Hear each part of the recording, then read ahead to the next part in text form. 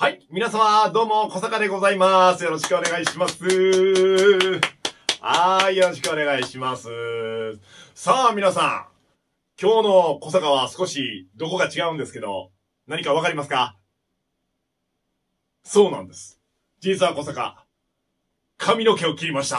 イェイイェイやっとね、髪の毛が 喋れてない。髪の毛が髪の毛が切れましてですよ。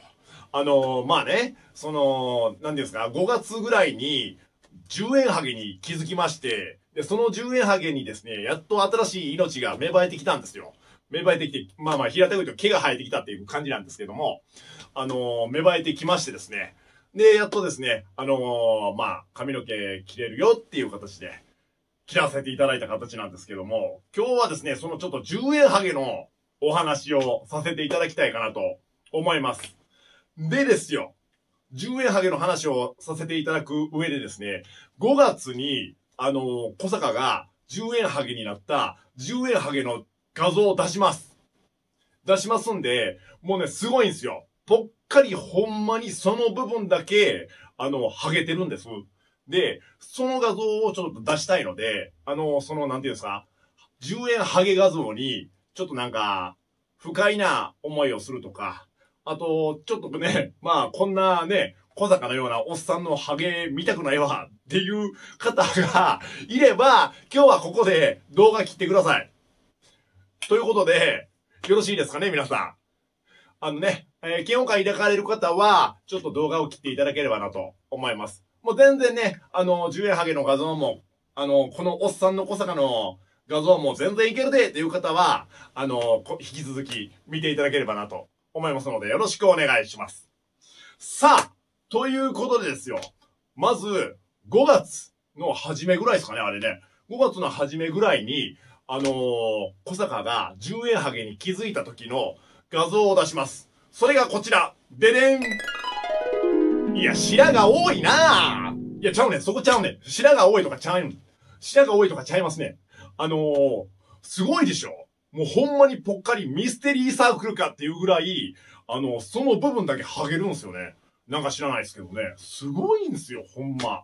ねなんかまあ、強いて言うならなんかあの、豚の赤ちゃんみたいなね、皮膚してますけれども。いや、まあね、そのような言うたら豚の赤ちゃんに失礼ですけれども。ごめんなさいね、豚の赤ちゃん。まあね、そんなこともありのですよ。この状態が5月やったんです。そうなんです。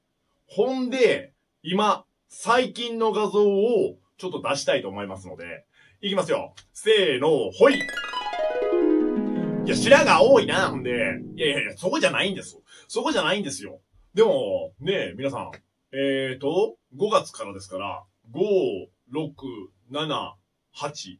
で、だいぶね、生えましたね。だいぶ改善されたなっていうところがあるので、やっぱりね、なんか、命ってすごいんやなと思いました。ね。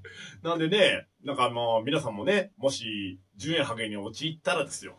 陥ったら、そういや小坂も陥ってたな10円ハゲに、と思っていただいてですね、そんなに悩まず、気にせずにですね、日々を過ごしていただけたらなと思いますので、よかったらね、よろしくお願いいたします。で、まあ、最後にですね、まあ、一応なんかね、この動画見てくださってる方の中にもですよ、あのー、何ですか ?10 円ハゲでちょっと悩んでらっしゃる方とかもいるかもしれないので、ちょっと僕がやった改善方法だけ少しご案内させていただければなと思いますので、ちょっとね、ご案内させていただきます。で、えー、まず、一つ目なんですけど、あの、たくさん寝ました。えっとね、だいたいそうっすね、7時間から9時間ぐらいは毎日寝てました。もうね、やりたいこともそっちのけですわ。やりたいこともそっちのけでですね、もうひたすら寝てました。もうスリーピングボーイですわ。何やねん、それってね。まあまあまあ、たくさん寝てました。そして、二つ目なんですけど、この二つ目がですね、なるべく栄養の高いものを意識的に食べてました。で、あの、三食？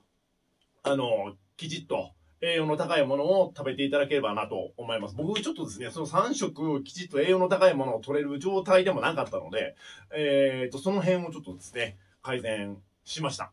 で、えー、あと、3つ目かな ?3 つ目なんですけど、あのー、体の血行を良くしました。えーとね、例えば、頭皮マッサージ、もう普通に頭皮掴んでワシャワシャするだけとかなんですけど、それをやったりとか、あと、あの、毎回シャワーじゃなくて湯船に使ってました。で、湯船に使ってしっかりと体温めて血行をよくして、で、なるべく改善できるようにしましたんで、この3つですかね。あの、まあ、まず1つと、えー、寝る。そして栄養のあるものを食べる。そして、え、ー、と、血行。この3つを、ちょっとね、意識的にやると、あの、生えてきましたんで、ちょっとね、皆様悩んでらっしゃる方がいれば、あの、なんて言うんですかね、一回チャレンジしてみてください。では、今日はこの辺でお別れです。ではまた次の動画でお会いしましょう。では、バイバーイ